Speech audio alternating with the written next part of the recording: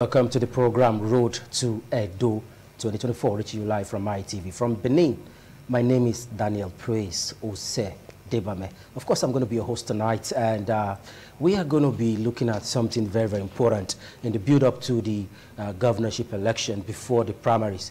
You know, we saw how political parties were actually having different, different, different aspirants from all gender. But however, uh, it, it, seems the whole political party, apart from one of the party, PRP, actually produced a female candidate. Others actually have the male folks drawing or running or flying the political party's flag ahead of the September 21st governorship election. But, but the question is, uh, the quest for having a running mate, if we have all men uh, pushing the weight or representing these political parties, what now happened to uh, the women folks? What now happened to them? Are they just going to support from the polls? Are they going to just support from behind? Are we going to have a female running mate? That's what we're going to be looking at today on the show. And we have with us uh, in the studio, Comrade Bali. Yes. I got that correct. Bali, yes. But I, I just wanted to be sure I'm pronouncing the name very well. Bali Joseph. Okay, Comrade Bali Joseph, yes. good to have you on the show. Thank so walk us through. Thank you very much. Let's start with the major political parties we yes. have. Three of them, okay, yes. four of them. NNPP is part of it. Right. The NNPP, the Labour Party, uh, PDP, the People's Democratic Party, and the APC. Yeah. They all have our agenda. Yes. They have the male folks flying the flags. Yeah. Is it possible to have a female running mate? Uh, thank you very much. Uh, good evening, uh, viewers at home. Uh, for me, uh, if you note, if you look uh, towards uh, the 2023 general election, yeah, yeah. that had in March, you see that uh, about 20, uh, about 15 political parties actually gave female deputy governors, uh, deputy governorship running mate. 15 political parties, you understand? But, uh, but I think about six succeeded. That's why we have about six female deputy governors as we speak. But even our um, next door or next door neighbor here, uh, River State, River State yeah. they have a deputy, female deputy governor. Oh. Even Wike also had a, deputy, a female deputy yeah, governor. Yeah, before he left so, office. So you can see that uh, it's not, it's something that is very doable, very visible, and it's something that should be done.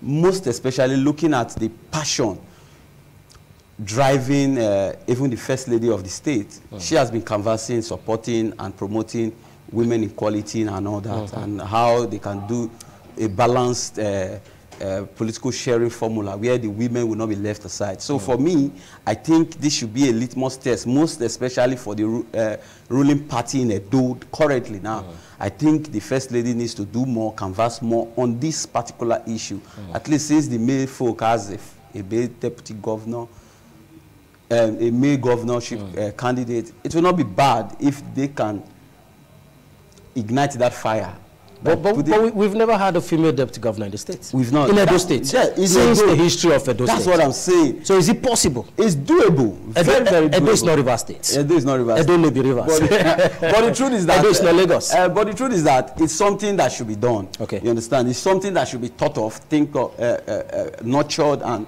we can see, we can run with it. For me, I don't see anything wrong with having a female as a deputy governorship candidate in this state because it will also give that women the sense of belonging because if you look generally elections during elections it's these women and the youthful population that, that actually definitely the, the come out for vote. vote. You understand? So yeah. why can't we encourage them? Why can't we bring them back, uh, encourage them by putting them in the ballot?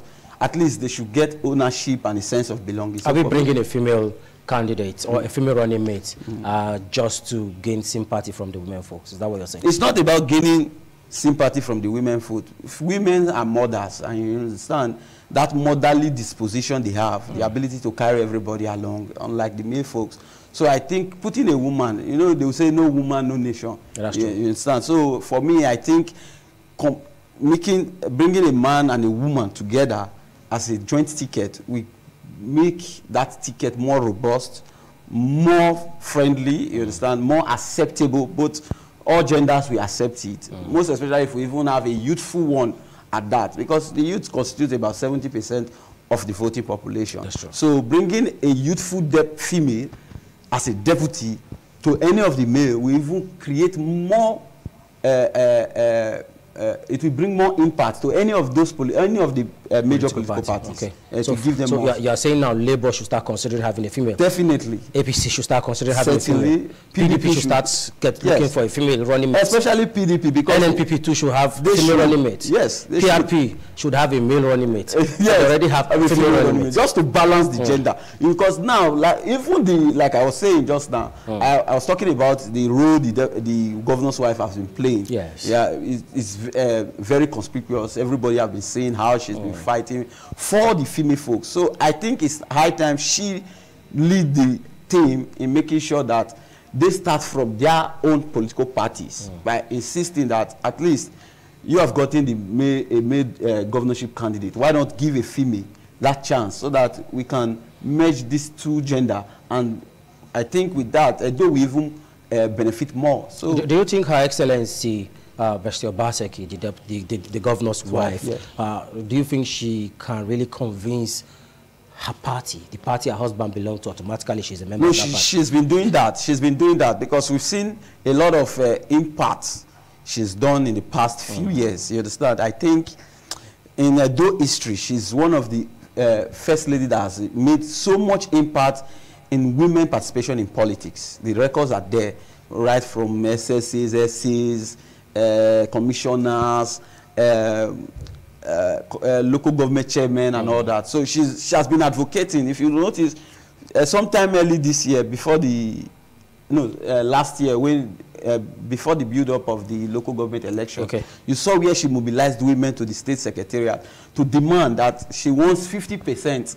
So if she can demand 50% as at that time, I think this is the best time for her to also demand that we want a female deputy governor. I think the husband will definitely oblige and the party will also because even the response from the state party chairman at that time was also pleasant. They agreed the role of women in the party. There are other stakeholders, Yes. apart from the governor and other persons. Of course, the governor is the leader of the party, True. uh, as a matter of fact. But there are other um, key Stakeholders. stakeholders in the party. Won't they have bottlenecks?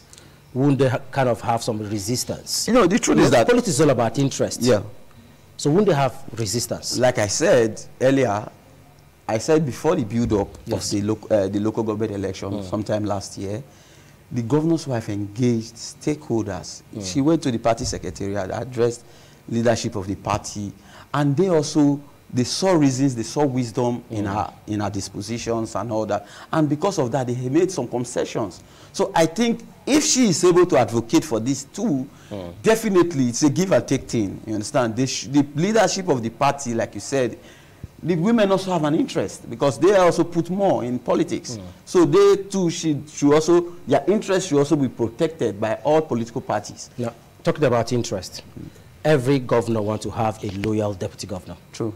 Every governor wants to have somebody who will not give him trouble. True. Over time, we've seen serious basbos Yeah, between the governors and the deputy. You know, we've seen it happen Yes. everywhere around the nation. Yeah. But don't you think that could be the fear if you have a woman? Uh, it, it, it, might kind of. Uh, uh, is it going to be risky having a female No, deputy it will- it will-? Since it's the first time. It will be it- flying it for the first time. Yeah. Uh, for me, I think it will be very, very peaceful. It will be a peaceful transition. You think so? Yes, because women are not that over ambitious. Though, yeah, there are, there are some women who are ambitious, but I think that motherly disposition, they will not go too far, like what we have been seeing. And you know, if you see most uh, the governors, governors and their deputy crisis starts from when they want to end their tenure. You understand? Because of that ambition of the deputy that ah I want to take over from you. You understand? It's difficult if you look at all the even all the states that we've had female deputy governor, we've never experienced such. You've not heard any yes, not- "I- I have even ambition." in River State just now, you- we didn't hear anything like that. It was peaceful and all that. So, but in all that, you have a male and a male, run- uh, a male deputy uh, and a male Running uh, run- uh, governorship. You, you have always seen these issues. It has been coming back to even from here where we are here in Even Edo. in Ondo State, I Yes, hear even that in one, Ondo the yes. the So it has always been like that. So I think having a female deputy self will even minimize that problem, that crisis. But the way you're talking now, Yes. are you assuring Edo lights? that we are going to have a deputy governor who will not have ambition. It's very, it's practically impossible. We are human beings. Let's let's talk reality. We, agree that. let's talk reality. No, the truth is that. comrade, no, comrade. No, let's talk reality. no, the reality on ground is that Mm. Women have ambitions also. Okay. You understand? But they are not over ambitious. They are not over-ambitious. Okay. You understand? They will not be too desperate to want to do undo just to get that position.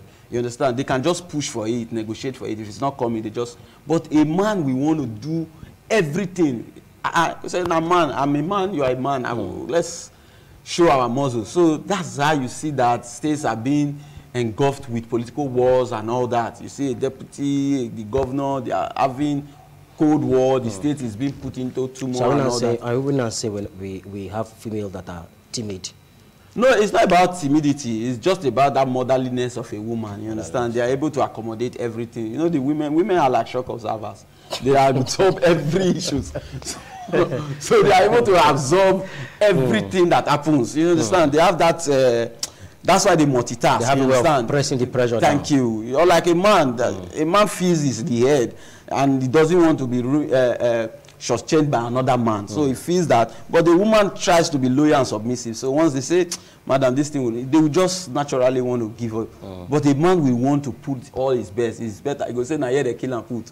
Better person, na here run pass." if, if, if we take it to the family line, Yeah. when the husband says I'm the head, some women will tell them I'm the neck. Yes. so they have a way. how do we of- strike a they have a way of negotiating, not through violence. That's Not one thing. Violence. Not through violence. So the neck can control the the head. neck can control the head in a way. You understand? But if it's a man and a man, the head will hit the head, and it will not turn to fight. You are trying to convince me.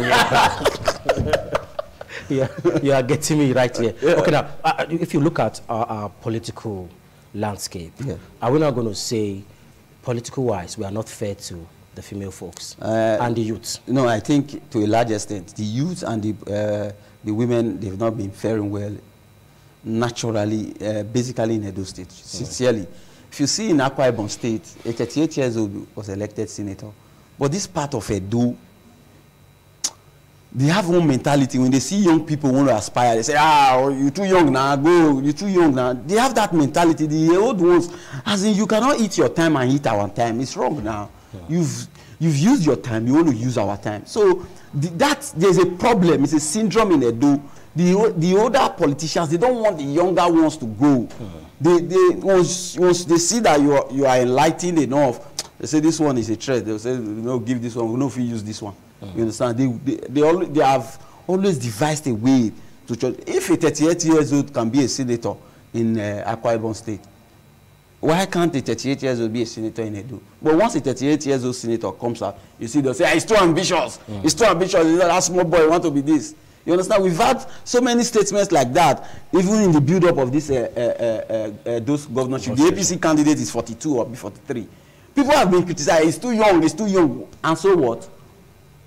We need more young people because we cannot allow those people who messed our system putting us in the problem to continue being in the system. So is it, it possible to eradicate them? it is very possible. Is it, is it, is it possible? It's doable How- if we are united. how if you see, um, one of the basic problems the, pol- the political class have used against uh, young people is on this hunger we talk about. You understand? You know, they've made everything look as if uh, the uh, the way Nigeria has even been structured currently is that they want poverty to be hereditary.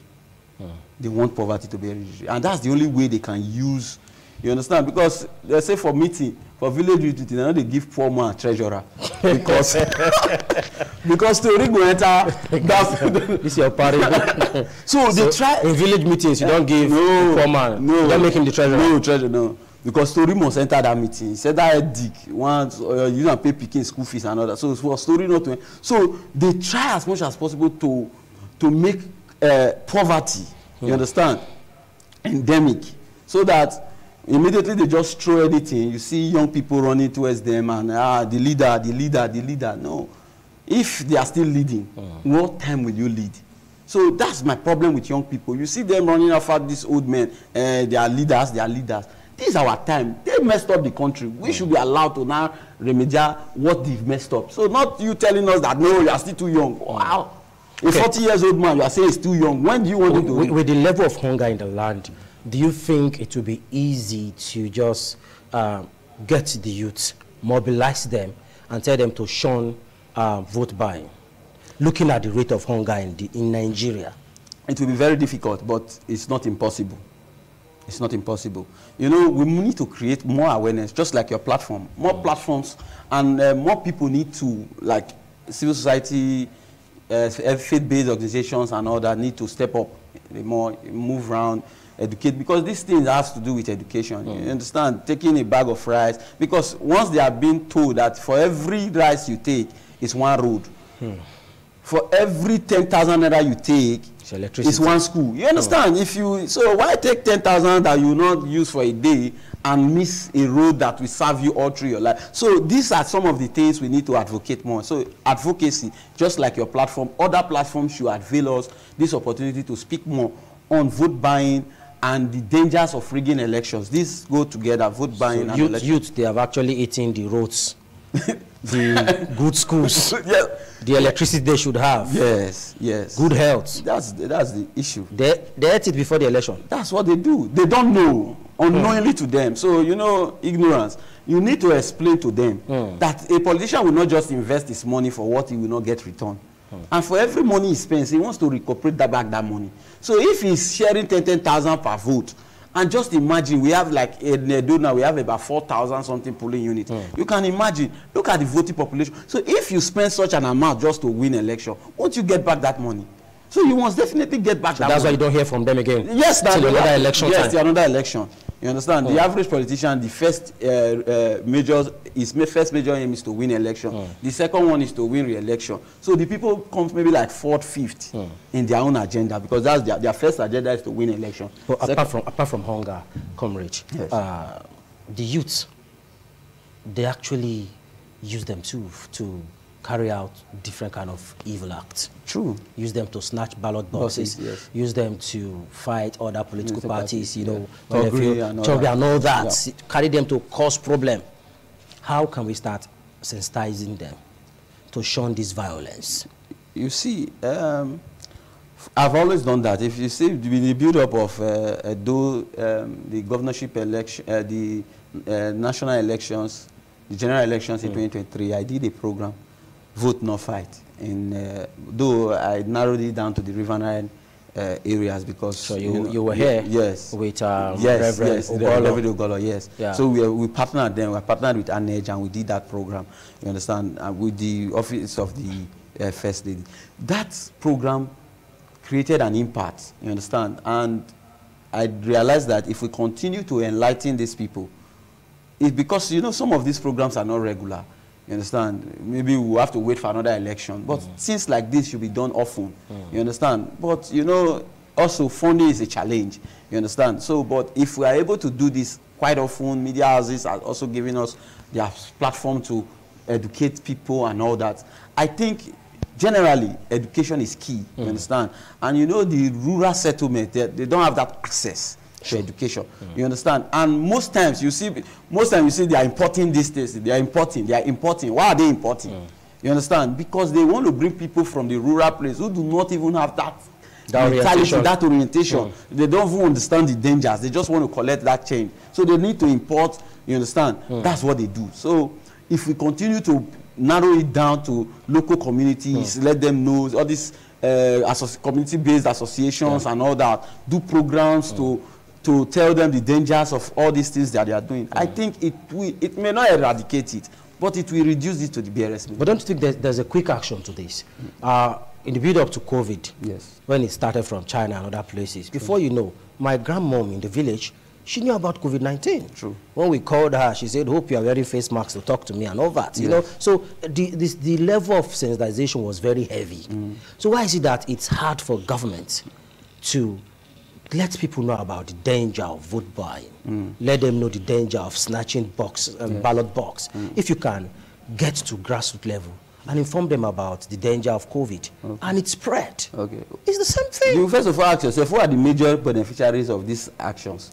That's, what, that's what I'm asking you now. Yes, now. I'm putting it to you. It is for these actions, mm. you know, you cannot stop what benefits you. It's oh, difficult. What benefit them? Not yes. now. so, Comrade Joseph, not yes, now. Yes. These benefit people, them. These people, politicians, mm. let us not uh, use that word. Let's call their names straight. Yes. call their name. Call them by their politicians names. naturally are beneficiary to this violence. Okay. You understand? Vote buying and ballot box slashing. So even if they get into power, they will not want to destroy that system that brought them. So uh, you see, they want to encourage it. You understand? And they want to suppress any voice. If you want to do so many programs that will enlighten people, they will not want to even fund it. They will not want to even buy into it. You understand? They will not want to invest their resources in such ventures. So they will just they, they prefer to wait another four years again. They they raise some money and recruit more talks again, and they use it. So this has been their style. Le- Let's return back to the major four front runner, the political Parties, parties. yes. Let's start with um, Reverend Azemhe Azena of the NNPP. yeah. Do you think if he's having a female running mate, it will fly that ticket? Uh, Looking me, at the NNPP and their structure in the state, let's let's X-ray them. Just the four. Let's X-ray four of them. yes, uh, like I said, like I said, you know this um, women thing is a very strong uh, movement that I think political party needs to embrace. I've been saying it and I'll continue to say it. You understand? Uh, because, uh, like I said earlier, if you go to voting centers, you just see women. If you even call political meetings, the 85% of people you see around is Let, let, and- us group other political parties together now. We talked about Reverend Azemhe Azena Yes. of the NNPP, Yes. um, Barrister Olumide Akpata, yes. of the Labour Party, Yes. um, Senator Monday Okpebholo Okpebholo, yes. Akpakomiza Yes. of the APC. Then we'll talk about Aswelime Ighodalo Yes. of the PDP, Yeah.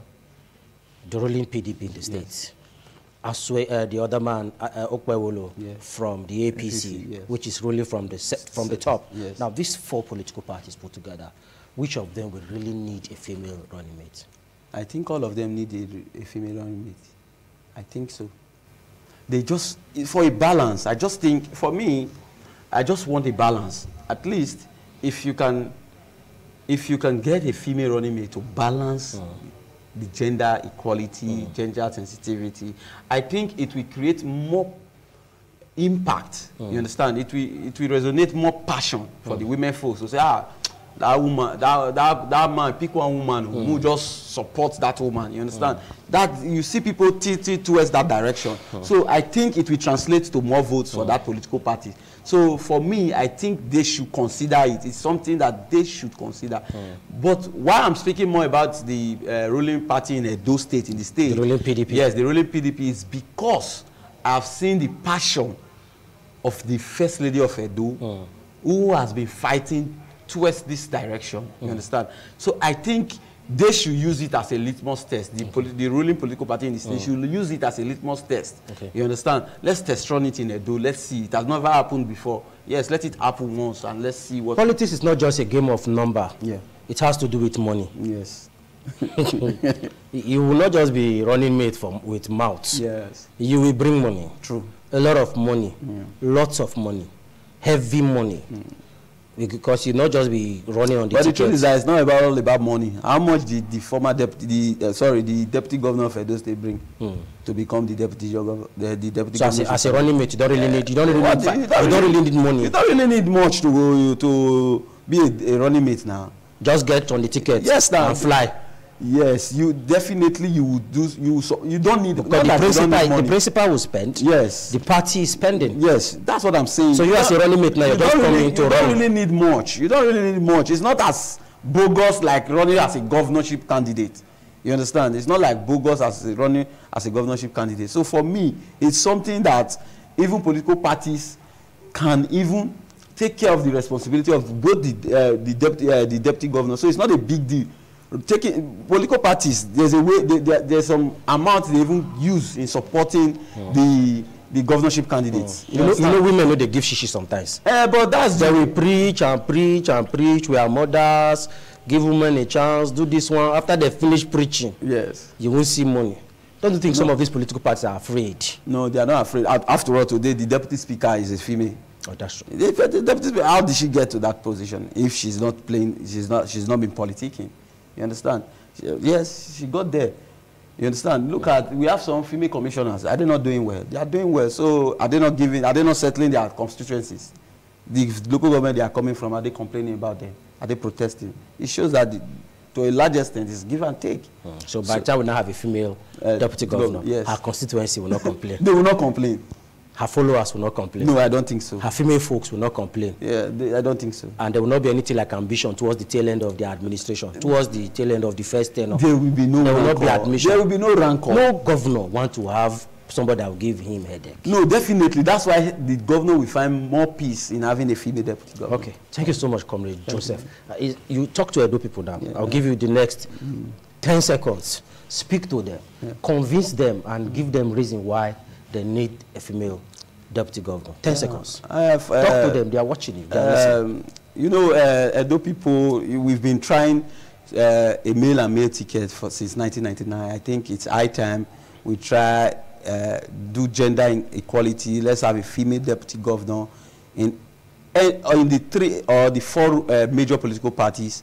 Let's have a female deputy governor. Let's test run it in Edo. Let's see what will happen. I believe mothers are unique and uh, mothers have a way of relaxing the house, even with all the tension that a man come with, mothers are able to calm down the tension. So, and mothers understand the dynamics. They I actually understand. said 10 seconds, Yes. comrade. They've heard you. I just hope we are not going to have a female running mate that will give serious headache to her principal. Let's see how that pans out as we will be seeing you on the next one. My name is Daniel Praise Osedebame. Thank you so much Thank for joining us. Do have yourself a beautiful night ahead and bye for now.